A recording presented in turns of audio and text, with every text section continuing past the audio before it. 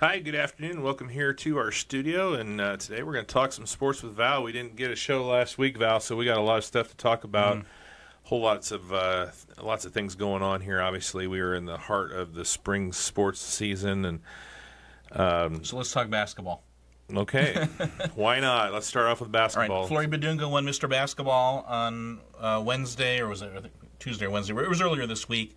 Uh, I think Flory was kind of the front runner coming into the season. It would have had to have taken an incredible year from Jack Benner to beat him, and he darn near, I think, pulled it off. I think he forced a lot of people to at least think about their vote a little bit.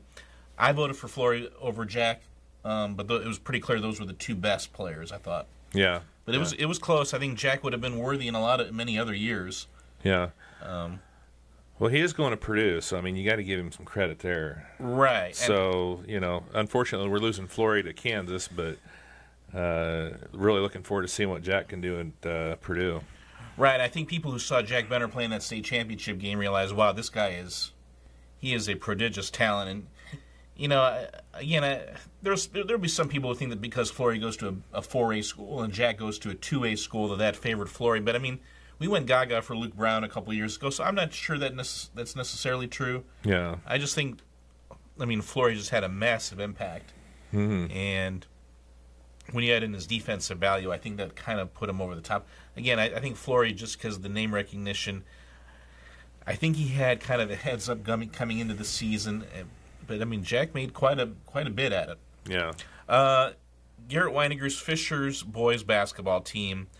Uh, obviously, they won the Class 4A state championship. Garrett, a 2010 Rochester grad. They were also named the Boys Team of the Year by the Indy Star. All sports. Boys Team of the Year. Oh wow, all sports. All sports. I lost only one game all year, and that was to Carmel, and they came back and avenged that in the sectional. What a year for that team. Uh, there were some wrestling rule changes that came out earlier this week. Um, we're still trying to figure out. Uh, there's a rule about inbounds with only one point of contact for either of either wrestler on the boundary line. That's supposedly supposed to make it easier for not only officials but also for spectators to know who's inbounds and who's out of bounds. Yeah, So we'll find out about that. Uh, a near fall, uh, as many of you know, a near fall can be either two or three points. Now they've expanded that; it can be two or three, or four points, or even five points. yeah, So that might take some getting used to. Four points if if the opposing wrestler's shoulders on the mat for four seconds. The five point rule was really weird because it sounds like if if the official has to call injury timeout or blood Yeah. or blood time, then it could be five points. yeah, which is going to be weird. I- It's because it sounds like you're rewarding a rewarding a wrestler for making your opponent bleed. I, yeah. I'm not sure I like that, but little uh, little WWE esque there. right. But was like, sometimes, yeah. but sometimes you see a kid and their their shoulders are on the mat for like 15, 20 seconds. It seems like they deserve more than three sometimes. yeah, yeah. I just I, I don't know about the five. And so that's, a way to get them weird, even yeah. more points. And then the ten point, the ten foot circle at the center of the mat is now optional for mats. So we'll see. As long as there's that little rectangle in the middle where they, you know, shake hands at the start. I guess that's where that's all that matters. Hmm. We had some college signings this week. Aiden Jimenez from Winamac is going to play football at Carroll University. That is a D3 school located in Wa- Waukesha, Wisconsin. Okay. Uh, Dylan Hook from Rochester is going to Trine for football. Yeah. And Noah Riffle of Rochester is going to Grace College for golf. And I know you'd like to hear this. Great, uh, Noah wants to major in accounting, and he said Grace's accounting program is outstanding for schools that size. And then Trey Stoll, a former Zebra alum, and I, I think that's going to be a perfect fit for Noah. Yeah. Oh my gosh. Yeah. I, I can't say anything but good about Grace's uh, whole program, but yeah, the, definitely their business and accounting program. You know, my oldest daughter, Madeline, graduated from there with an accounting degree, and she's been doing really good. So, yep. And we wanted to just uh, give a shout out to the friends and family of Carol Calloway, who passed away on April 15th at the age of 80. She was a legendary English teacher at Rochester High School. I mean, taught 38 years there. She was also a legendary sports fan, and that's why I wanted to mention her. I mean, she was as huge of a supporter of girl sports um, in the 70s, 80s, and 90s. She was a huge Sheila McMillan fan. She was a huge Notre Dame women's basketball fan on top of that. So I just wanted to give a shout out. I mean, there are many, if you're watching this program, there's a very good chance that Carol Calloway taught you, and I wanted to give uh, uh, our respects to her and her family. Definitely. Um, I also wanted to give a um, quick shout out to Addison Zimpelman, who um, received the uh, the Lilly Scholarship for Fulton County. Yeah. Uh, Wes Steininger had originally got got that award, but uh, he's going to be going out of state. He's doing an ROT scholarship Mm-hmm. at uh, Vanderbilt, so congratulations to him on that. That's huge. Yeah. Uh, and so Addison Zimpelman is going to be uh, taking the Fulton County Lilly Scholarship. Uh, so congratulations to Addison, and you know, just uh, part of that whole group of seniors there at Caston that uh, has really made a huge difference on the culture of the Caston uh, schools. Not only what she does athletically, but also what she does academically, obviously. Yeah. And um, also Alex Deming, uh, he's Mm-hmm. going to the Citadel on an ROTC scholarship. Yeah. So, man, that is that's some big stuff. Yeah. Uh, I saw him at the prom. I just said, man, congr- congratulations. That's that's big. So he's he's getting to do what uh, what we knew he wanted to do. Yeah. So that's yeah. That's pretty awesome as well. and Addison, of course, going to Purdue Fort Wayne. Yeah, She's yeah, going to play softball there, but of course, I mean, the, the Lilly kind of trumps the athletic scholarship. yeah, yeah. So let's uh, let's get into some sports here. We had a lot of stuff going on. We've got uh, softball and baseball for the Rochester Zebras to talk about here first. So uh, you want to start off with the softball team? Yeah, let's talk about the Rochester softball team. They're five and seven overall. They're one and two in TRC play so far. Um, since we talked to you last two weeks ago, they lost to Eastern, lost to Southwood, lost to John Glenn, a heartbreaker, thirteen to eleven last week. Uh, but then they defeated uh, Twin Lakes and Northfield. Twin Lakes thirteen to nothing in five innings. Northfield fourteen to nothing in five innings. Here's some highlights of that Northfield game.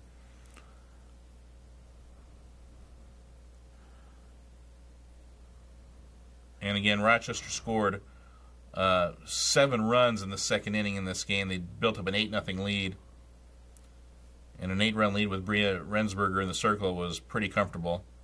And again, Rochester again not they don't maybe quite have the power that they had maybe with an Emma Howdeshell and a Sid Hawes in previous years, but they they've definitely been making more contact of late.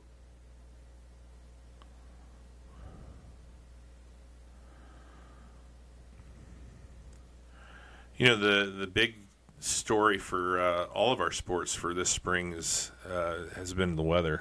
I mean, it's Yeah. just seems like it's either raining or it's going to rain.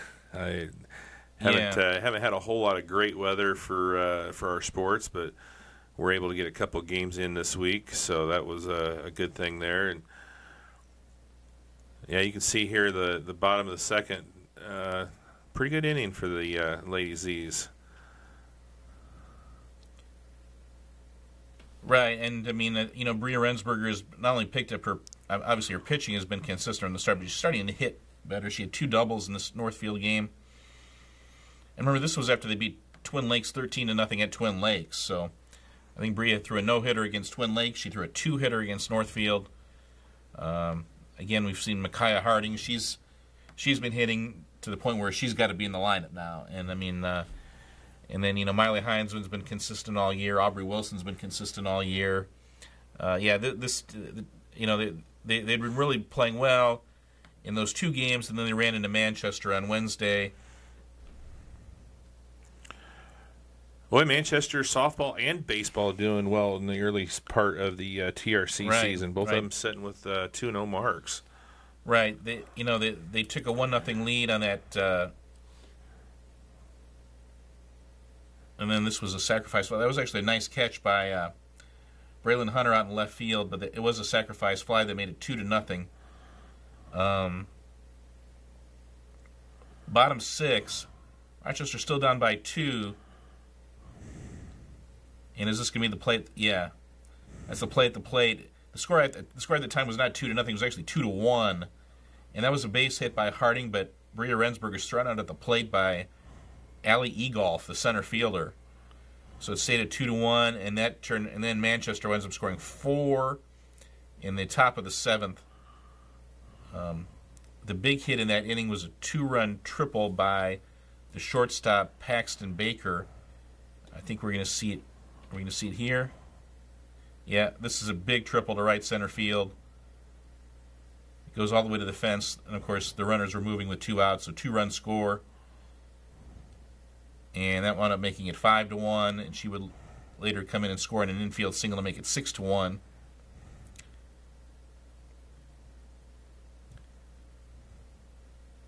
Yeah, okay, here's the infield hit. Nice stop by Wilson, just couldn't quite get it there in time, deep in the hole. And that made it six to one. Baker was huge, both offensively and defensively. She was the best defensive shortstop I've seen this year. Hmm. I mean, she was I mean, she had a quick first step to anything and she had a real strong accurate arm. Rochester made it 6 to 2 in the bottom of the 7th. Wilson gets hit by a pitch with the bases loaded. That makes it 6 to 2. And so Coach Todd Volk would make a pitching change. That would be all for Molly Shanup. He went with Egolf, brought her in from center field. Ellie Egolf threw one pitch. She threw it to Braylon Hunter. Braylon hit a line drive right at the third baseman, Hadley West, who caught the ball and touched third base. Double, Double- play. doubled her up. Double play, game over. Bad luck. Braylon hit the snot out of the ball, but just right at him. That was just a kind of a frustrating win and a frustrating game. Manchester won six to two. Yep. So Rochester, they are at Bremen today. Bremen's ranked number five in Class 2A. They are at Jimtown at the Jimtown tournament uh, on Saturday. They'll play Jimtown and Bremen in pool play. If they win both games, they get a third game, in the ch- which would be the championship game. Is it Bremen? I thought they were playing Peru. Ex- Uh, Jimtown and Peru Yeah. at the Jimtown tournament. Yeah. And if they win those two games, then they get. Sorry, did I say Bremen? Yeah. Jimtown and Peru. If they win those two, then they get a third game, which would be the championship game. Uh, it's a six-team tournament. I think it's Leo, Brandywine, and South Bend Adams. One of those three Okay. would be the championship game. Of course, Leo, a powerhouse program every year. Mm-hmm. Uh, yeah. Yeah. Uh, so uh, we'll see if if they wind up playing Leo. Uh, Jimtown having a very good year as well. Then uh, Rochester returns to TRC play. They host Wabash on Monday. Of course, Wabash both a conference and a sectional opponent. Uh, then they host Plymouth on Tuesday. That's a makeup game. They host Maconaquah on Wednesday, and then they are at Valley next Friday. Yeah. Yeah, it's going to be a big week for them. And, you know, as you look down the TRC, uh, you know, right now, Rochester's sitting at 1 and 2. You got Manchester, uh, they're actually 3 and 0, and Southwood 2 and 0. You got Mac and Whitko and Lewis Cass all at 2 and 1. So they they might have dug themselves into a little bit deeper of a hole than they can dig out of for this year, but uh, they've got to uh, find a way. You know, they got a young Wabash team coming in on Monday that. Uh, you know they've got a, uh, a really good freshman uh, in Andy Conliff who's uh, got to shave Coach uh, Stan Bazzi's head after hitting a couple home runs in a game Oh, earlier okay. last week. So uh, you know we'll get to see what uh, what they can do there, but uh, you know a couple a couple of teams that uh, they can get wins over, but they they've got to find a way to do that. It's going to be a geez, that's a lot of games over the next seven days. Yeah, and Ro- Rochester's got to tighten up that defense too. I think they had four errors in that Manchester game. The uh, cannot. I mean, again with Bria's pitching, I don't know. She she doesn't need a ton of help from the defense, but she does need some. Uh, Aubrey Miller's now playing right field. Braylon Hunter's playing left field, which is a little bit of a change from earlier in the year. With those two, and then with Darius Strasser in center, I think outfield defense is going to be a strength. Aubrey Miller made a couple nice plays in right field against Manchester. Yeah, kind of back to where she played last year. Yeah, A little bit more of a feel for her there. yeah, Yeah. yeah. All right, um, let's take a quick break here before we get into some Rochester baseball. Here, when we Okay. come back, we'll uh, talk some more sports with Val. Stop on by to Inyards Hardware for all your home project needs. With a broad selection of garden supplies, tools, and paints featuring brands like Milwaukee, Diablo, and their newest paint line Valspar, you can be sure that Inyards will supply you with the most top rated equipment. And if you need something for a quick job, check out Inyards Rental Selection to get you going. Stop on in at 1619 Main Street, Rochester, or call 574 223 4920 to see how Inyards friendly staff can help you. Pacesetters Real Estate knows that buying and selling properties can be a tough and complicated task. That's why we are here to provide you with our full service process where we walk with you every step of the way. Whether you're looking to buy a home or you're looking to sell, Pacesetters Real Estate is here for you. Call 574 223 5000 or visit us online at www.pacesettersre.net.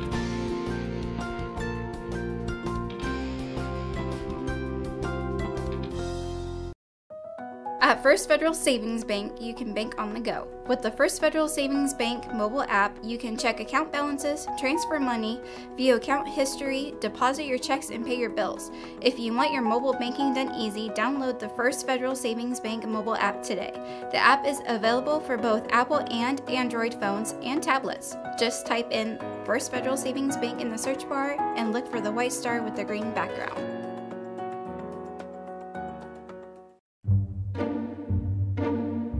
There are some things in life you just can't plan for. But here at Evans Agency, we strive to help you have all your bases covered when it comes to protecting your assets from whatever life throws your way.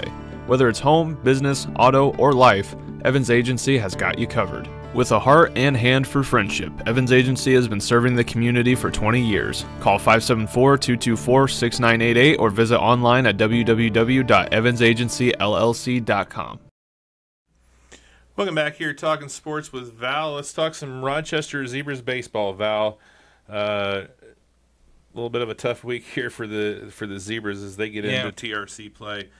They're uh, they're sitting with a one and two mark in in the conference as well as the uh, softball team. So again, uh, some big games coming up. They got a, a really big game coming up on Monday with Wabash. Uh, you know, obviously conference and sectional opponent for for them there, and sectional host as well. Yeah, um, yeah. A- again, the way they were playing, you know, they had that crazy game against Caston uh, back on Saturday, April thirteenth. They were down six to four with two outs in the seventh inning, scored six runs to come back and win that game. Then they beat Delphi, great win. Then they beat Southwood. They beat Pioneer.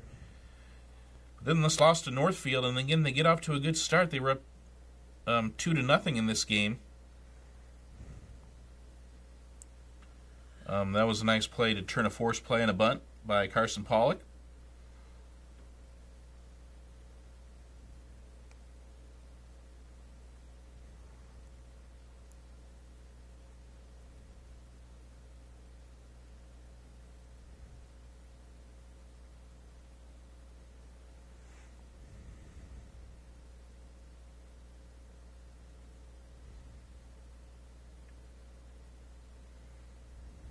This was a bloop double to right field by Brady Coleman. That would give Rochester a one to nothing lead.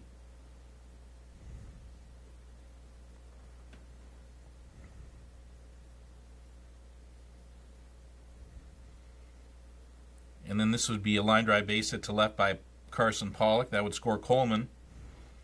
Rochester up two to nothing. So again, off to a good start in this game.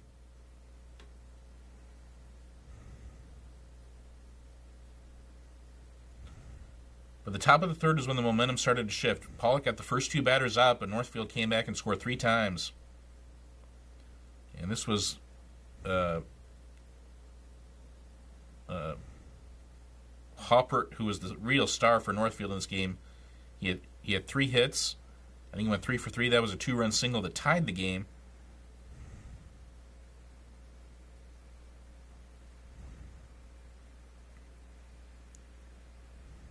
Was a throwing error on a steal attempt by Jake Cipher, and Northfield would score the go-ahead run and take a three to two lead. Rochester would tie the game in the bottom of the fourth.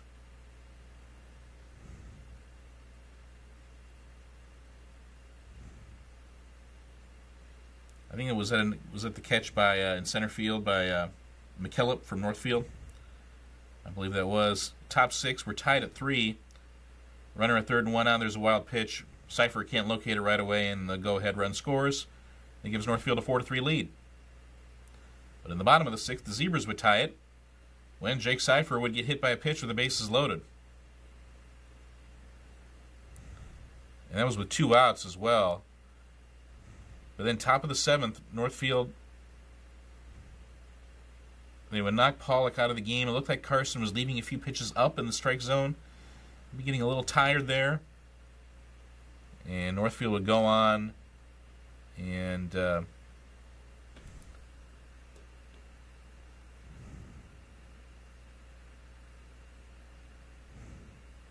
yeah, that that made it six to four, and then you're going to see a two-run single here. I think this was uh,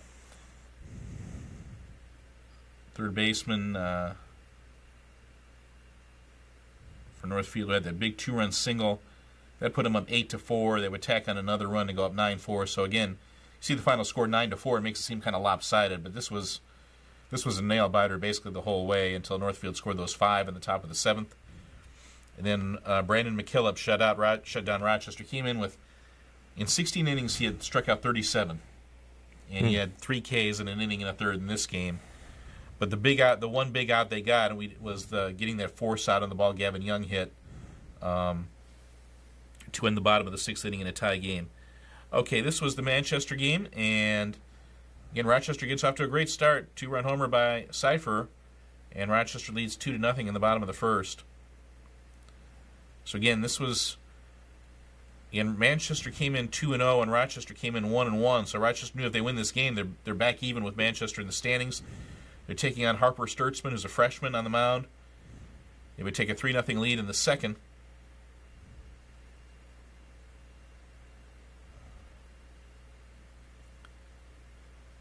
I think they're, and so again they're they're looking pretty pretty good. But then two outs in the bottom, in the top of the third, and the whole momentum of the game changes.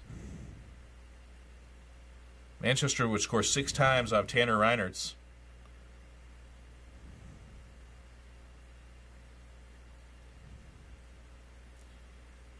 I think there were, I think there was a bases loaded walk and a bases loaded hit batter and all this.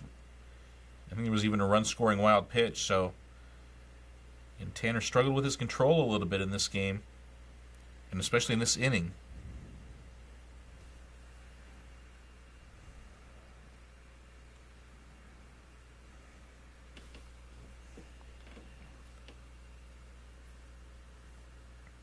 Again, all six runs scored with two outs. There, yeah, there's the wild pitch that brought in the sixth run of the inning.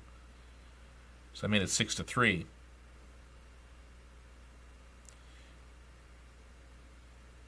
Bottom of the fourth, and this would be a home run to deep left center field. That was Colton Fervada. And Rochester would get it down to 6 4 on that solo shot.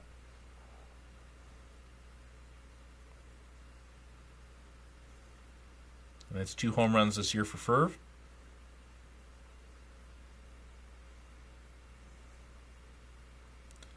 And then we get to 6 5 on an RBI double by Coleman later in the inning.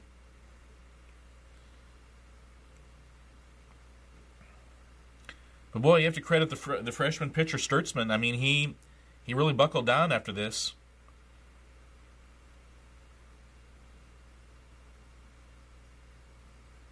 And Manchester kept adding to the lead. Again, this had to have been a sweet win for Manchester. Rochester played Manchester twice last year, and Rochester outscored them 37 to two in two games, 20 to nothing in conference play, and we, we did the sectional game, which was 17 to two. So this is a Manchester team that has made huge strides. They are 12 2 and one this season. Yeah, yeah. The most most important part of that is they're three and zero in the conference. And they're three and zero in the conference, setting up there with uh, Peru, both And- setting at three and oh. zero. and Peru and Manchester play each other on Monday. That's Yeah. a big game. yeah, And we'll see. I mean, again, Rochester did not see McKillop, who was Northfield's ace, until the sixth inning of that game, and they didn't see Evan Martinovitz at all. He's Manchester's ace because they were they're saving him for because he had just pitched against Wabash on Monday, and they're saving Yeah, him for the Peru game. game next Monday. So, again, uh, just a disappointing loss for the Zebras.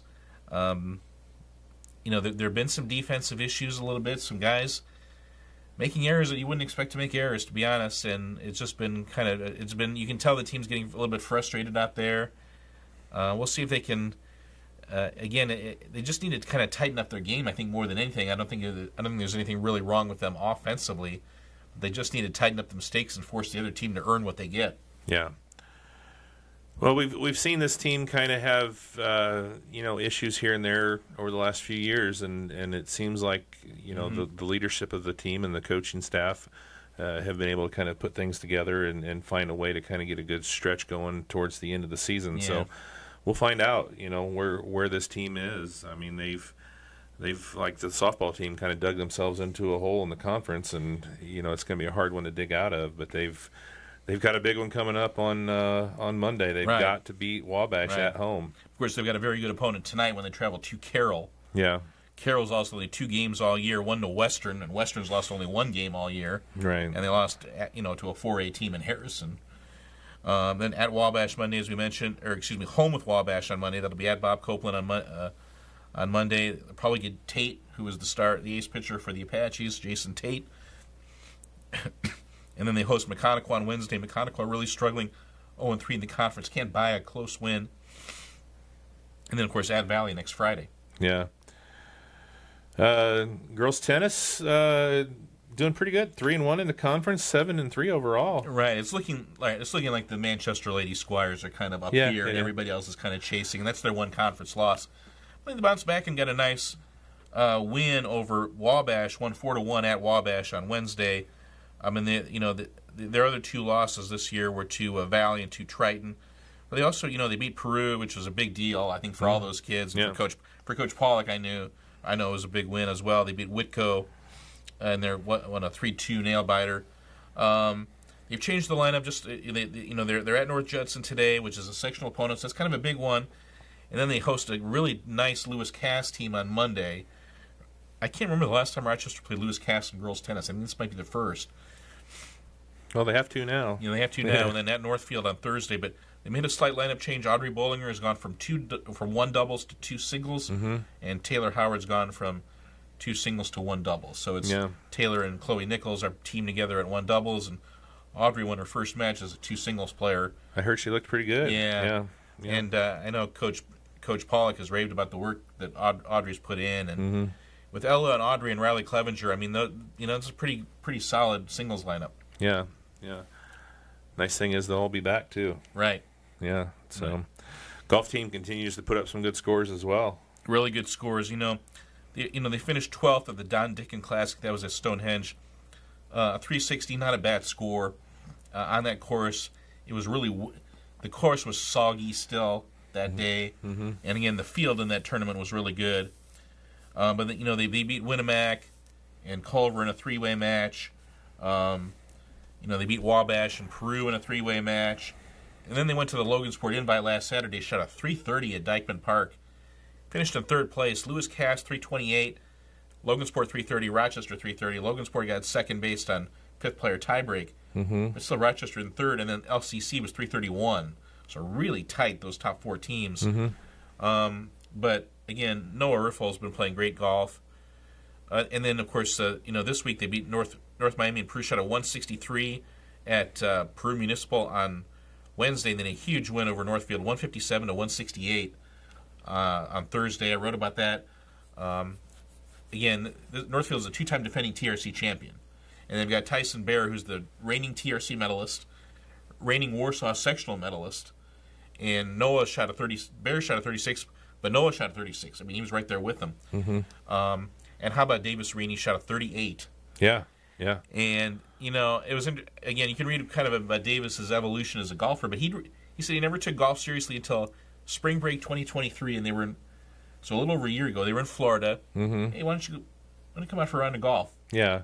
And he said he played golf, and he said he just he loved it. He just he said he spent all he said basically from the time the beginning of summer all the way through the start of basketball season, he just golf, golf, golf. Yeah, yeah. I mean, Reese was always, you know, he was always a golfer Mm-hmm. like, since he was little, and Davis really was never into it. And Yeah. uh, it's amazing how far he has come in, in just a little over a year. So Yeah. yeah, He- it's impressive. Yeah, and uh, he said, you know, that he said that Noah and J.R. McLaughlin can kind of they can see him on the driving range and say, hey, why don't you try this? And they can kind of fix him if there's anything wrong with his swing. And yeah, I mean, the, with Noah and J.R. and Davis, I mean, that's a really good top three. And then Isaac Heisman shot a 42 against Northfield, so he's been improving a lot.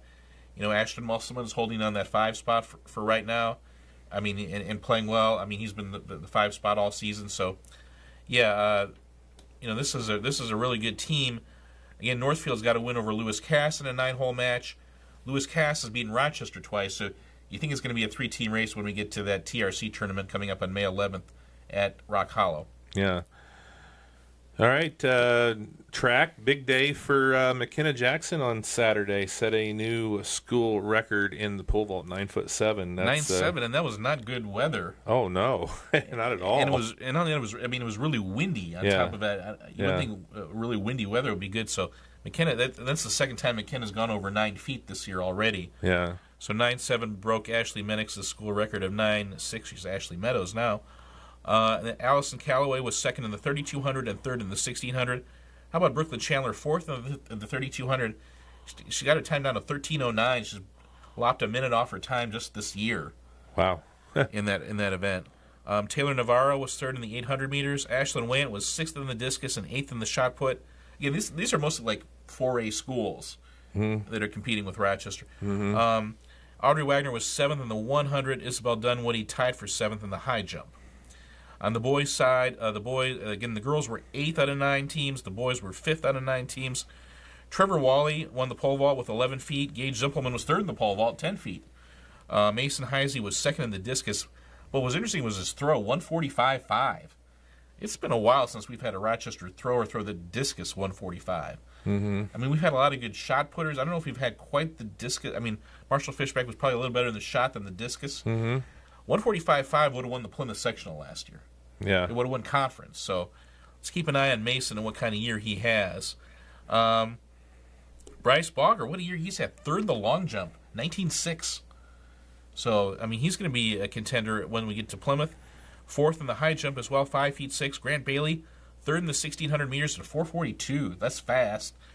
And uh, Harrison Dunwoody was third in the 110 hurdles. Xavier Vance is back. He was eighth in the shot put, uh, 39.5 and three quarters. The 4x800 relay team was fourth with Grant Bailey, Reese Johnson, Lane Shank, and Lincoln Holder. And uh, they go to, they travel to Tipton today for the Tipton invite. And then they have that three way home meet with Valley and Triton. On Tuesday, that's typically kind of like a JV type of meet. Because again, what do they have next Friday? Conference at Wabash. So you don't want to work kids too hard at that Valley and Triton meet. Okay. But yeah, conference coming up next Friday at Wabash. Awesome. All right, that'll do it for uh, Rochester. We'll take a quick break, come back, and uh, talk some more sports with Val as we talk some Argus Dragons here on the next segment. Kriskins Pools and Spas is your local contractor for all your pool and hot tub installation needs. With a wide selection to choose from, Kriskins is sure to hook you up with exactly what you need no matter what your budget is. To learn more about our services, visit KriskinsPoolsAndSpas.com Call 574 857 3100 or stop on by at 7448 Liberty Avenue in Fulton to see how Kriskins can help you.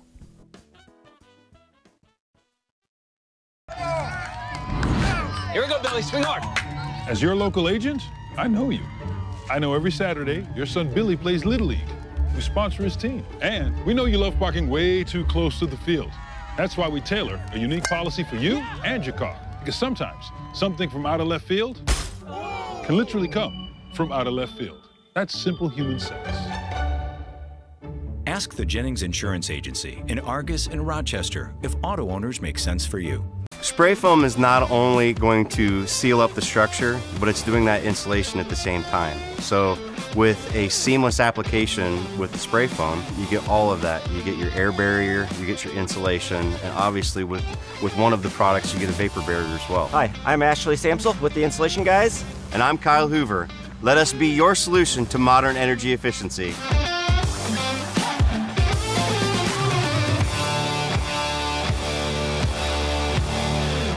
Now more than ever, your business needs fast and reliable internet. Whether you're hosting a meeting, printing invoices, or keeping inventory, your business deserves the best internet speeds to keep everything running smoothly. And to get the best speeds, you need a fiber connection. Here at RTC, we have the solution for you. Contact me, Steve Stricker, to see how we can best serve you, or you can also visit us online at rtc1.com. Welcome back here, talking sports with Val. Let's uh, talk some Argus Dragons, some softball and baseball here for the uh, Dragons. Argus softball off to a three and seven start. They're zero and two in conference play. Um, you know they had that doubleheader sweep of River Forest, and they also had a win- nice win over Laville. They also lost a two-game series to Elkhart Christian, which gets them off on the wrong foot in conference play. And then they had a kind of a tough loss to Peru. They were up two to nothing going into the bottom of the sixth, and then Peru scored.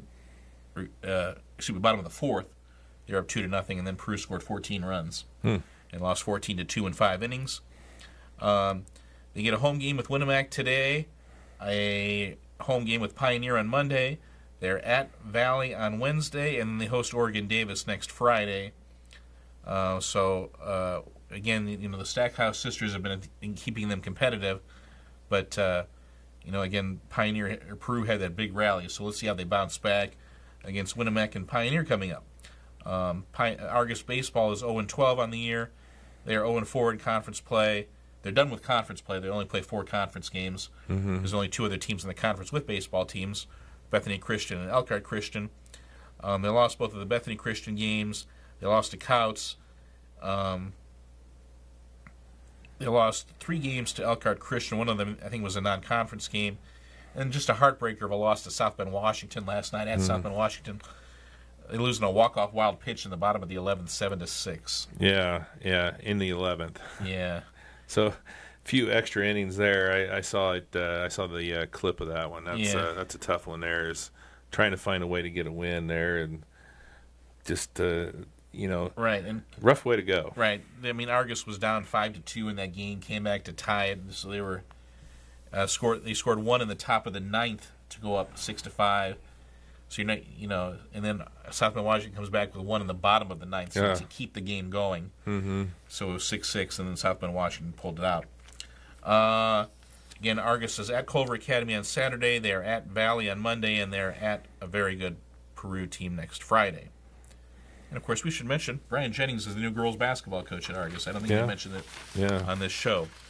Keeping uh, keeping that one in the family. There's uh, Brian is going to take over for his older brother Scott Yeah. next year. So uh, as they, uh, you know, we talked about uh, this a lot, but obviously as they join the Hoosier North Conference, so they're going to be playing in a in a new conference. Uh, so it'll be it'll be interesting to see. You know, obviously graduating Samantha Redinger and Alicia Sarver. So little bit of a rebuild there as uh, Brian takes over for for Scott. So, Yeah. yeah, we'll see how that goes. Let's move on to Caston. They are their softball team is ten and three overall. They are two and zero in the conference play. Um, they split those two games with Peru uh, a couple of weeks ago. The Peru, the second game is more like a uh, Coach Burks wanted to give some JV kids some action. I, I think Peru took that game a lot more seriously than Caston did. Yeah, Uh, then they defeated North White. They defeated North Judson thirteen to two. That got them to two and zero in the conference. They defeated Northfield, and then they went two and zero and finished in third place out of eight teams at the Kokomo tournament last weekend. They beat Westfield nine to seven on Friday night. They were up eight nothing and were able to hold on late. Uh, then they lost to South Bend St. Joe nineteen to three in five innings on in their first game on Saturday, and they defeated Kokomo ten to nine in their second game uh, on Saturday. I, I finally got to experience the Kokomo softball field. Like you had told me, it was everything you said it was. It was pretty awesome. it is and given that it was 47 degrees outside, it was the press box was nice and cozy. warm and inviting. Yeah. yeah, yeah. Yeah, but that, just an awesome stadium. I mean, that's that's right up there with Bit, Bittinger Stadium at Purdue. Oh, I yeah. mean, that was Yeah. obviously that's probably the best that we've been to. But that's also a uh, Division One college stadium versus a uh, high school stadium. yeah, this was a really nice. I mean, they put a lot of thought into kind of how they built the stadium, and it's uh, yeah, just a really nice facility. South Bend St. Joe is awesome. I mean, the Zakay sisters, Riley and Berkeley, are just tremendous. I mean, uh, you didn't get to see Berkeley pitch. They had the freshman pitch the, against Caston. They see Berkeley Zakay for the championship game against Belmont, and she wound up pitching a perfect game with 19 strikeouts against Belmont. yeah. Berkeley Zakay. And she's also a really, really good hitter, and her sister's a really, really good hitter. And they've got a, a leadoff hitter named Mary Stack who had two triples, and she was really, really fast. So th- there are just no weaknesses on that team. Yeah. But what impressed me was how Ca- Caston bounced back to beat Kokomo 10 to 9 in the third place game on the JV field uh, later in the day. I mean, Addison Zimpelman, as many of you saw, got nailed in the thigh by a line drive. She wore like a like a football thigh pad. yeah. It didn't affect her hitting at all. She had two doubles against St. Joe, and then she had a, I think, two or three hits against Kokomo, including a homer. But I mean, that couldn't have felt good, especially in that weather. Mm-hmm. And you know, and then you know, I mean, Macy Hinderleiter, who's doesn't hasn't done much pitching, and she kind of admitted, I throw one pitch, it's a fastball, but I mean, the you know, just kind of you know, first of all, she hits a, a two run homer to get the rally started, and then comes in and pitches and gets you know some big outs there in the seventh inning, up ten to eight. She allows a run, but gets the third out, and hangs on to win at ten to nine. So just really impressive. Kylie Logan had been 0 for 6 on the day, and then hits a three run homer. I mean, that was just. I mean, it just tells you about these girls and what kind of what kind of competitors they are, Yeah. and that was really impressive. Um, then they lost to West Central on Monday. Uh, I think we have some highlights from that one. Yeah, I was down there on Monday, and uh, unfortunately, West Central did a lot of damage before they even got an out. yeah, it was Um, four to nothing. top of the first. They Yeah. get three runs before Caston even gets an out. Um, you know, kind of kind of dug themselves into a, a, bit of a hole. Obviously, senior night. I don't know if the emotions were were you know kind of running high or whatever. Herb, the pitcher, gets a uh, two run double there, and uh, three nothing there. They finally do get an out, uh, get another hit, get another run across here, four nothing in the top of the first. So pretty good hole for Caston. Um, Addison Zimpelman, the first pitch at the bottom of the first, yeah. hits hits it out and uh, cuts that lead to three again. But from what I've seen, Addison, as good of a hitter as she's been, she's gotten even better. Yeah, yeah. And I mean, she is very aggressive. If you just try and just throw a get me over strike one, uh, you're not going to get a strike two because it's going to be over everybody's head. That one gets through the gap there. Uh, no runs in the uh, second inning. Get one across there in the top of the third. So that makes it five to one West Central. This is uh, Kylie Logan in the bottom of the third, and she's going to hit one across the fence. So yeah, and that was after she had hit one against Kokomo. So back to a, a three-run advantage is uh, bottom of the third. This is kind of an interesting situation. The catcher thought that uh, um, there was a swing there and was trying to figure out what was going on, get, trying to get uh, a call from the ump, and uh, Isabel Scales alertly steals 3rd mm-hmm. The throw down to third is errant, and uh, basically they manufactured a run out of that. Uh, uh, the catcher, you know, and, and, there was some confusion there, but no timeout was called, and, and Isabel just did uh, you know smart senior play. Tough one there. The freshman Maddie Douglas can't make the catch, and one run will score. They do get the out at second almost double up uh, there at third, but uh, the run scores makes it six three uh, in the uh, sixth inning. So, you know, West Central after that first inning, they did get a couple more runs, and uh, again, there's the senior uh, IPFW commit or Purdue Fort Wayne PFW mm-hmm. commit. Addison Zimpelman with her second dinger of the day. second time she hit the first pitch out just yeah. unfortunately there was, wasn't anybody on base. She yeah. was a leadoff hitter. I think the home run she hit against Kokomo was on the first pitch of the at bat as well. Was it really? Yeah. So unfortunately, senior night doesn't go the way that the Lady Comets would like. Six four West Central gets the win, but you got to take a little bit of perspective. Obviously, coming off of those three huge games on Saturday, Friday, Saturday mm-hmm. for uh, for Caston, and and playing a, a game against a very good uh, right. sectional West, West, Central threw their number one pitcher, Herb, and mm-hmm. Caston did not. No, they did. Or Addison did, pitched. Did pitch. Okay. She pitched the whole game. Okay. Yeah. So. Sorry about that. Yeah, but um, it, it, was uh, you know it was just one of those things. Uh, it was just a tough top of the first for mm-hmm. the Comets, and unfortunately they just weren't ever able to uh, to quite catch up to them and yeah, I think there's still a lot of uh, optimism uh, conference-wise. Uh, they're sitting right there. You know, they they've got some uh, some big games to go. They're only two and zero oh in conference play. You got Pioneer sitting at four and zero, oh. um, and Knox, even though they've only played one game, but they're one and zero. Oh. But you know, Winamac is always a tough mm-hmm. challenge for Caston, so they still have Cat, uh, Winamac and, and, that Pioneer game coming up at the end of the year. Knox has a very good pitcher in Barnes. I mean, she's she's a very good pitcher. She beat Valley the other day, so I think Knox is gonna they're gonna have something to say about this before it's over. Yeah, but Caston did bounce back with a six to four win over North Miami. Uh, last night I was at that game. Uh, again, they scored two in the first, both runs unearned. They scored three in the second, all three runs unearned and all five of those runs came with two outs. Some clutch hitting by Hinderleiter who had a two-run single, and by Scales who had a two-run single.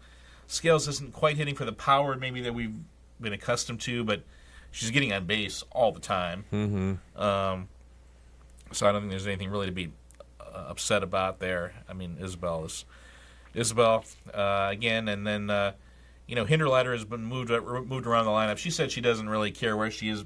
She's gone from first to ninth to fifth on the lineup. You know, it looks like Maddie Douglas can play either second base or right field. Mm-hmm. Uh, uh, I want to give a shout out to uh, Miley Rude, who's pl- playing some good left field defensively mm-hmm. uh, for them. Uh, made a couple nice catches against Kokomo, made a couple nice catches against North Miami. And then, uh, you know, it was kind of a strange situation in the sixth inning. I mean, Zimpelman drops a pop up and Scales boots a grounder on consecutive batters. And we were like, what is going on here? But Warner gets out. She, she does allow an under and run in that inning, but gets out. Of, that could have been a really bad inning, you know. But Warner, Natalie Warner did a really nice job last night. She just kept her composure and just kept pitching through it. Yeah, and you know, young, obviously freshman, but uh, and I don't know that she's pitched a ton, has she? Uh, previously? really, no. Yeah, so uh, doing doing a pretty good job, and you know, she made some good contact in that game that I did on uh, Monday against West Central. Just Yeah. unfortunately hit right to the left fielder about three times. Yeah. but uh, she she, Right. uh, she she's gonna be a good one. So there were some defensive miscues in that game, but there were some good defensive plays too. Finke threw out a runner at second base, trying to stretch a single into a double. And then uh, when Hackworth, who is North Miami's really fast leadoff hitter, she gets on base to start off the top of the seventh, and then Logan on the next first bet, next batter, Logan throws behind her at first base, and they pick her off, get her in a rundown, and tag her out. That was a huge play. Yeah. They have a big game coming up on Monday. I'll be down there for that one as they host Tippecanoe Valley. So uh, that'll be a, a fun one there. Valley at uh, Caston then on Monday. So Right. I mean, Yeah. first a conference game at Laville tonight, but then that Valley game on Monday, and then at Manchester on Tuesday, which would be an interesting game. They get Molly if they get Molly Shannon from Manchester. We saw what Shannon's game plan was against Rochester: in on the hands, in on the hands, in on the hands. And again, that's the similar to kind of the game plan that Ashley Sumter Music of North Miami had: get in on the hands and try to jam Caston's hitters. They struggled a little bit with that. So let's see how they adjust. Yeah. And then at Logansport on Thursday, whether it's Packard or Haggerty, they're going to get a good pitcher. yeah, yeah. All right, uh, let's talk a little Caston baseball here. Four and seven overall, three and two in conference play. They had that heartbreaking loss to Rochester where they were two outs in the seventh, but really bounced back, swept Triton in a two-game set. Uh, they lost to Peru eight to two. That was a pretty close game though until about the sixth inning. Uh, they split a two-game series with North Judson last week, so that got them to uh, three and one in the conference. Uh, but then they lost to Laville last night to drop to three and two. There was a combined no hitter by Lucas Plummer and Andrew Wolford. Plummer pitched the first six innings, struck out 11, and then Wolford pitched the seventh. Uh, Laville won that game two to nothing. Pete Duval was really, really good, but Laville pitcher's just a little bit better. Mm-hmm. So now three and two in conference. Um, game two of the Laville series is tonight at Caston. Then they travel to Winamac on Monday for the first game of a two-game set. Then Winamac travels to Caston on Tuesday. That's going to be a big one because if Caston can sweep that, they're right back in the race. It's really looking right now like it's Laville's conference to lose with the way they've been playing. But again, that Cast Caston Winamac series is going to be huge. If they split, it's it might be bad for both teams. But let's see if one. But if one can sweep the other, then mm, it could be more consequential. Yeah, two two losses in the HNAC for baseball is different than two losses in the TRC because you play each team twice. Right, and you play So- 14 conference games. Yeah, So yeah, a lot more opportunity there. So you're not out of it with two losses necessarily. yeah, and then they are at Northfield on Thursday, and that Northfield team we'll see whether it's Lemming or McKillop. They'll, uh, we'll see if, if Northfield throws one of those two, but. Uh, it's a, quality Northfield team. I was impressed by what I saw, and they've been ranked in the top 10 in, in 1A. Of course, Northfield is a sectional opponent as well for Caston. Yep. Uh, some golf notes. Yeah, they finished in 16th place of the Logansport Invite with a 424. Just wanted to give a shout out to the new coach, Jeremy Rentschler. Got eight kids to come out for golf, which is big news. Uh, obviously, they lost their top two players from last year's team. AJ Daig, who was the conference medalist, and Colby Pugh, made it to regional. Yeah. I mean, to lose those two kids, that's a that's tough. But I mean, their varsity lineup includes Maxwell Summers, Lucas Graham, Gage Thomas, Jace Rentschler, and um, Charles Warpenberg. Graham and Warpenberg are the only two back from last year. Um, they're at North Miami today at Peru, Peru, Peru Municipal, and they host North Judson on Monday. Yep. So I just want to give a shout out to Coach Rentschler and his team. Um, track, again, I guess we're going to see this about all track teams in the area. We just don't know because the weather's been terrible.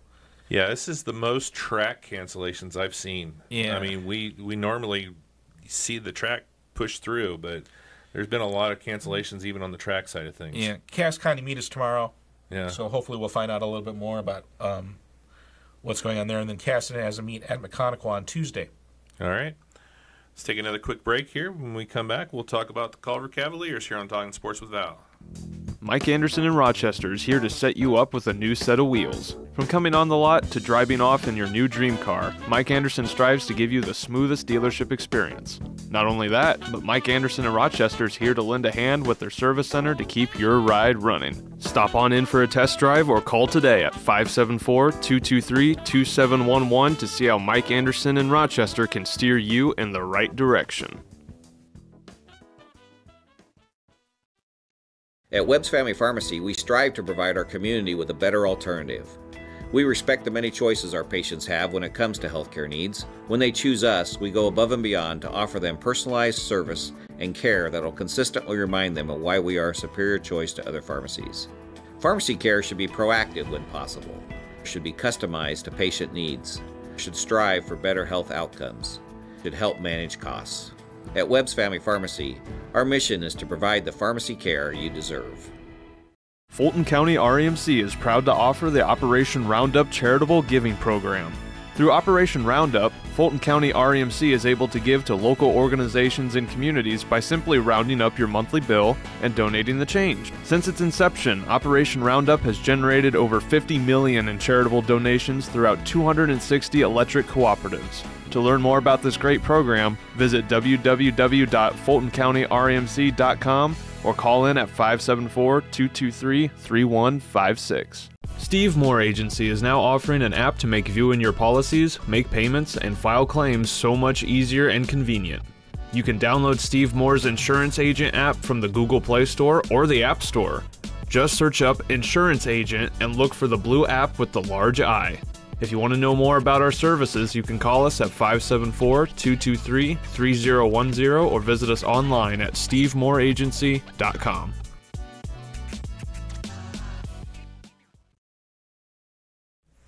Welcome back here, talking sports with Val. Let's talk some Culver Cavaliers, Val, and uh, start off with softball team. Softball team is two and five overall. They're zero and one in conference play. The one conference game was that game against Caston, which was like what three weeks ago.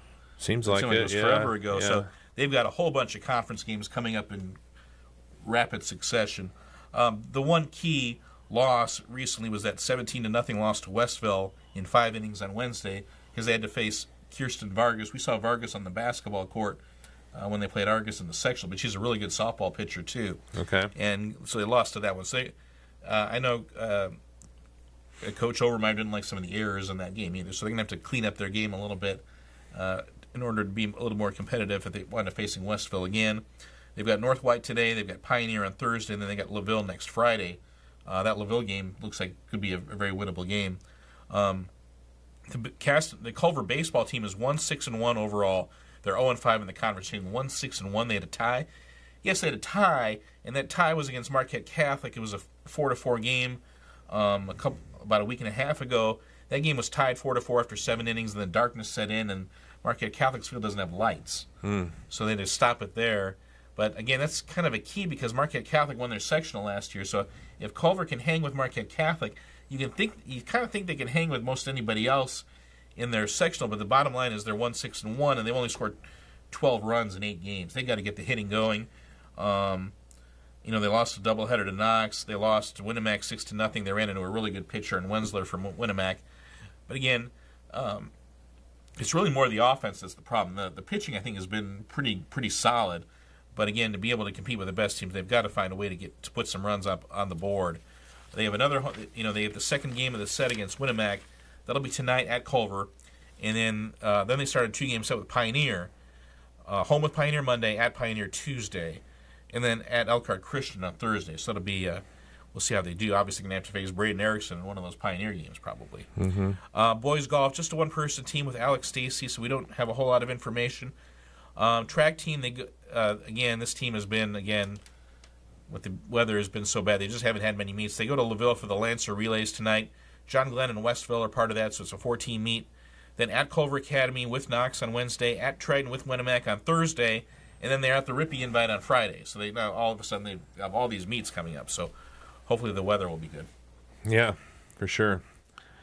Uh, Pioneer. Let's talk Pioneer. Yeah. Uh, their softball team is 11 and two overall, four 0 in the conference.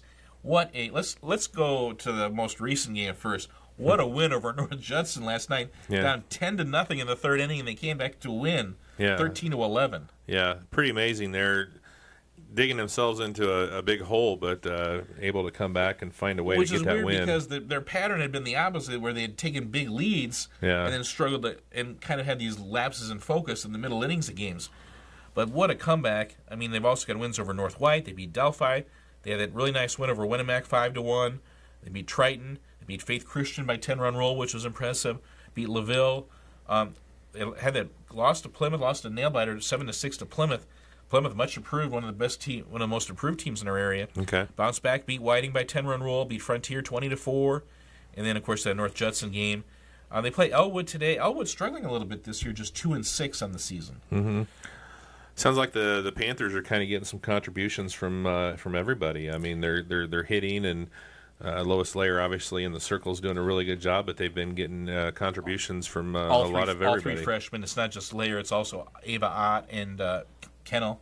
Uh-huh. Uh, Addison Kennel's been hitting. Uh, Emma Sells has been, you know, uh, she gets on base two or three times every game. It seems like Kylie Attinger is just so hard to keep off the base with her slapping.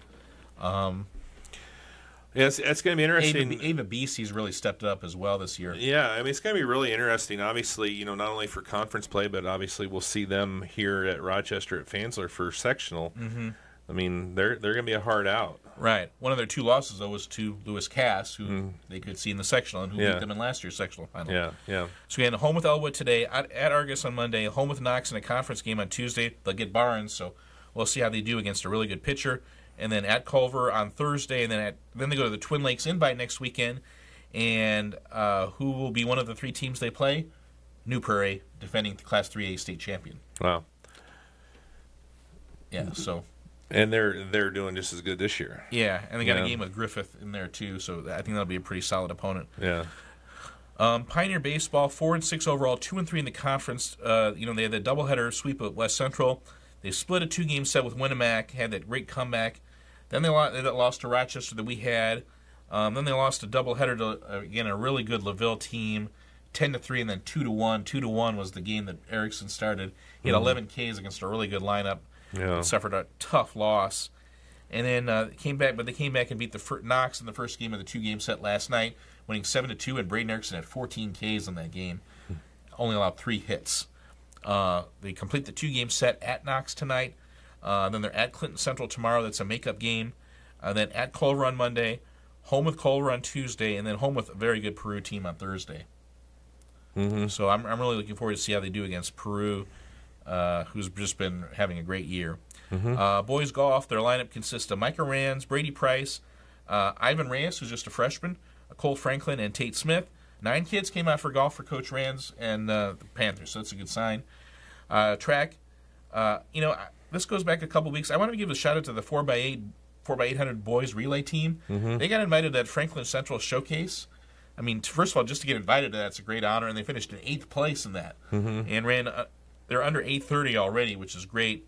Um, They, uh, they, I believe they own the school record in that now as well. yeah, so it's a really good relay. They're at the Cass County meet tomorrow. Uh, they got a three-way home meet with North Judson and West Central on Tuesday, and then of course they got the Rippy invite next Friday, which is I know one that you know it's obviously a big meet for Pioneer every, including the Cass County meet. Mhm. But the Rippy invite's a big deal as well. I know. Yeah, yeah. That So, it? Uh, yeah, that's it for Pioneer. Yeah. All right. All right. Well, let's take another quick break here, and uh, when we come back, we will wrap things up with the uh, Tippecanoe Valley Vikings and the Winamac Warriors here on Talking Sports with Val. New Holland Rochester knows that farmers need equipment they can trust and rely on. That's why for over 125 years, New Holland has been innovating to develop the best and most sustainable products available for our customers. Check out our full fleet that includes our lineup of small compact tractors online at www.newhollandrochester.com or stop in at one of our locations in Rochester or Logansport to see how we can serve you.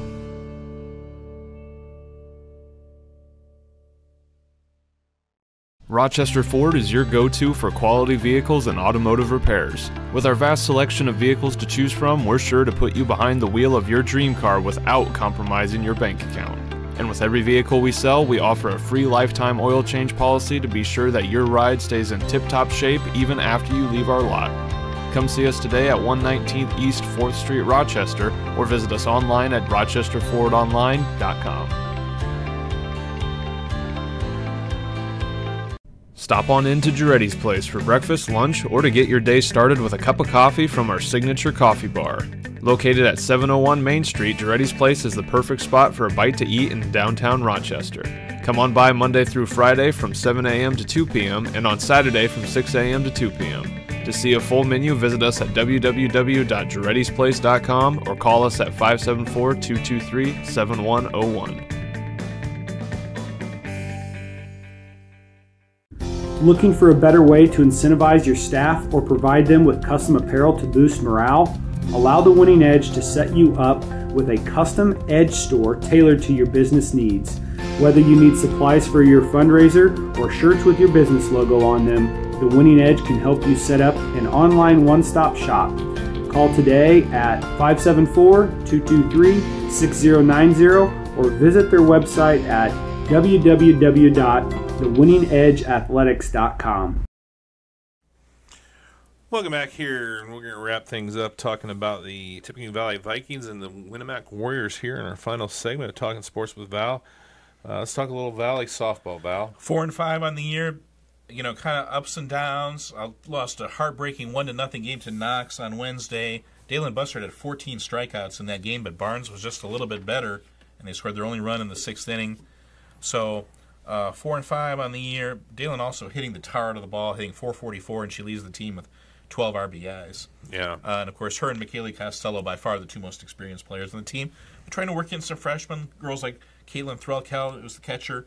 Temperance Cottle is playing some first base. So uh, Caitlin Mans is a is playing a lot more and playing a nice, doing a nice job in center field for them. Just Uh, a, a lot of graduations last year, and Yeah. uh, trying to put the pieces together there with Right. the younger team, and uh, really looking forward to getting a chance to see them uh, as they travel over to uh, Caston on Monday. Yeah, we hope. Yeah, I, I'm. We'll see if Dalen winds up pitching against Caston. Yeah, I would To- hope so, To, to see yeah. her face some Division One caliber hitters. See Yeah. how she does against that team. Yeah. Uh, the baseball team at Valley is two and nine. Uh, they lost to you know they had a, had a couple tournaments. They lost to John Glenn and Kankakee Valley at the John Glenn tournament, the uh, Reese Invitational. Uh, lost to Bremen. Lost to, a heartbreaker to Northwood. Northwood scored in the bottom of the seventh to beat them three to two. Then they lost to Wawasee and DeKalb at the Wawasee tournament last uh, Saturday. So two and nine, but playing some tough teams. Um, they get Peru at home today. That's a makeup game. It was supposed to be played yesterday. Got pushed back today because Peru had to make up a conference game yesterday against Northfield. So we'll see. Obviously, they're not going to get uh, Rutger or Potts or any of North Peru's aces. So we'll see if they, they, if they can get their hitting going. But they're also going to stabilize the pitching. Uh, they've been struggling to keep teams off the scoreboard. Uh, and then Valley gets a home game with Argus on Tuesday, and then they're at North Miami on Thursday. So they get two really winnable games there uh, before the Zebras come to town next Friday. Yeah. Another really young team for Valley, their Right, baseball team. Right, and yeah, uh, Cam Manuel obviously is their ace, and he's going to be uh, pitching all the big games, but uh, uh, you know, trying to work in some younger pitchers, you know, kids like Hunter Paxton and those guys. So Tennis team doing really well. having another really good year. Yeah. Beat Laville, beat Knox earlier this week. Beat Knox pretty. Had a nice win over Knox four to one the other night. Um, you know they're at the Concord Invite tomorrow. They should get some good competition there. Uh, you know they, they went to that Bremen tournament, lost only to Bremen. Uh, no shame there. Bremen's always good. Uh, you know there- there's three sing- those three singles players that Valley has: Kerrigan Callahan, Ella Sandbakken, and Sarah Finney. They're the heart and soul of this team, playing really good, playing really well again this year. Mm-hmm. So yeah, we'll see. Uh, uh, how, you know how they keep going here. Yeah. Uh, boys golf um, had a really nice win over Mishawaka the other day, one sixty four to one eighty three on Mishawaka's home course. Eli Love and uh, Ethan Young both shot thirty nine, and Wes Parker at a forty. Yeah, that's this is a good team, and everybody was wondering what this team would be like without Greg Miller. Well, yeah, they missed Greg. Yeah. certainly you, you lose a Division One golfer, but boy, th- this is a solid program that Coach Parker's building. Nash Baus at a 46 and Thad Shambaugh at a 51. Mhm. So this is a team that's going to uh, continue to put up low numbers. Yeah. and 164 is a really good score, especially if it's not your home course. Yeah. They get a home match with Wawasee on Wednesday over at Round Barn. Mm-hmm. Track seems to be uh, really having some uh, success. Yeah, I wanna when give a shout when out- they can get meets. I wanted to give a shout out to the the girls four x four hundred relay who won the Goshen relays in like four sixteen. Ava Smith, Betty Shepard, Hadley Wise, and Chesney Miller. That's a really good team. Hadley Wise having a really good freshman year on the track, of course. Uh, her dad's an assistant coach, so I mean she's, you know, she she can get off the blocks, which is you know again that's it's tough for a lot of freshman athletes who maybe haven't been used to doing that before. But again, and you have two seniors on that team with Ava and Chesney. I saw they had uh, last night a good re- result where they broke the school record in the 4x4 relay. They did. You, you didn't see that? Yeah. Nope. Yeah, they uh, I believe they did. So uh, Chesney has her has her name on another uh, record at Valley. Okay. But uh, yeah, the 4x4 team I believe broke the school record. Okay. So they're at Rochester on Tuesday. Triton's going to be there as well as part of a three-way meet. We'll see if Tri- uh, we'll see who if everybody sends out their best athletes. Uh, again, I, I don't know how not having a conference meet affects coaches, Coach Moriarty's lineup and how she puts out a lineup. But uh, always fun when those three teams get together. And then Winamac. Let's talk Winamac softball. They are five and five on the year. They're one and two in conference play. Um, they are at Argus today. They're at Delphi tomorrow. They host North Judson on Monday. They host Culver at their new uh, ballpark. They host Culver Academy on Tuesday, and host Oregon Davis on Thursday. Yes, OD has a team. They played two games this year. So they'll have OD on the schedule coming up. And again, Chloe Rush and Adriana Hall. You know they've got two really solid pitchers. Mhm. And then uh, you know uh, Corinne Combs, a really good catcher, a really good hitter on that team. And then Maggie Smith is Maggie Smith. You know, really solid at shortstop. So uh, a team that's been they, it's not really an explosive offense, um, but again, they're always going to be competitive uh, with their pitching that they have. The Winamac baseball team is five and three overall. They are four and one in conference play. Had that really again. Brody Rentschler has been the story. A one hitter against Triton, and then a one hitter against Culver.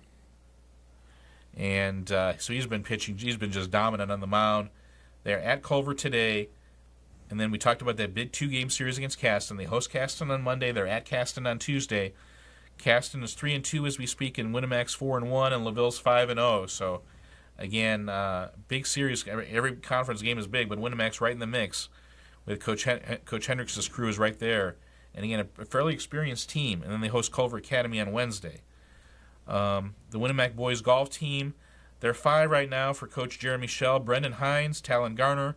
Talon shot a 39 against Tri Township the other night in a win. Noah Garner, Will Byros, and Cooper Fulmer. That's the five that they're going with right now.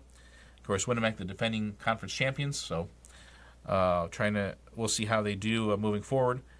And then uh, track, the Winamac track team, they're at the Delphi Relays tomorrow, and they're at Rensselaer on Tuesday. Okay. Other than that, nothing's going on. But we should. Oh yeah, we should also note that uh, sectional alignments are coming out on Monday or Tuesday. So that's kind that's the last. That's the last thing we on my plate right now. Well, uh, Sunday. Oh yeah, and then a Sunday little bit of a, a little bit of a thing softball on and softball and baseball draws are on Sunday. Yeah. Softball draws at 7 p.m. Eastern. The baseball draws at 8 p.m. Eastern. Yeah.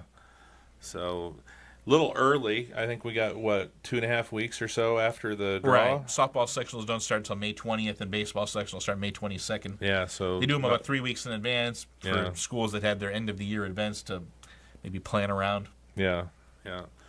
So that's gonna that's gonna be really interesting. Obviously, you know, we talked about the the softball sectional is going to be held at uh, Fansler for Rochester and Yeah. Winamac and, and Pioneer will all be Right. there for that. And, Valley will travel to Kankakee Valley again for their sectional. That's a beautiful stadium. Mhm. Uh, yeah, and then uh, Caston, and we'll travel to North Miami again. Yeah, yeah. Which should be just a dynamite sectional because I think with Caston, West Central, and Southwood. Yeah, yeah. Southwood's having a really sectional. good season. Yeah. West Central's going to be a, a team to be reckoned with. They proved that this week. Right, and then Westville hosts a sectional again. They won the sectional on their home field last year. That's where Argus and Culver will travel. Right. And then baseball wise, Wabash will host a sec- that two way sectional again with Rochester and Pioneer.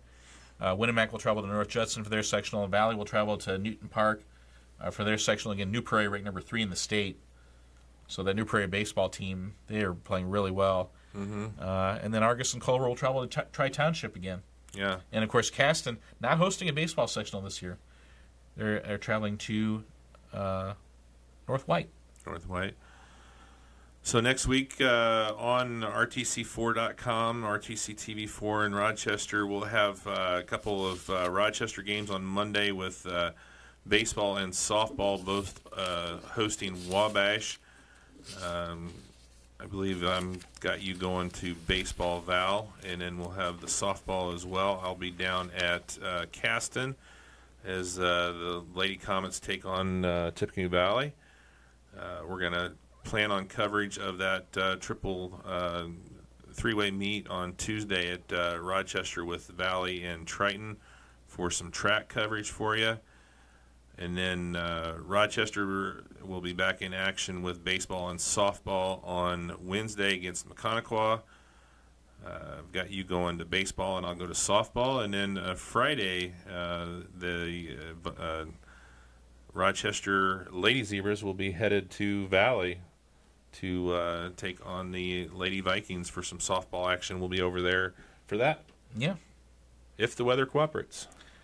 Yeah, it'll be warmer, but will it be dry? Right, right. We've been trying to do as much coverage as we can, but uh, they've just been having to cancel games. We were looking forward to going to Valley this week with uh, that game with Pioneer on Tuesday. Of course, uh, Mother Nature uh, defeated both teams on that day. Mhm. That was uh, complete rain out for everybody. So um, I guess that'll do it for us. You got anything else? Talked out. I think we Talked, talking, talked out of sports. talked out. Yeah. So uh, we'll have a lot of coverage for you coming up next week, and uh, we'll talk some more sports. Yep. All right. Thanks, everybody.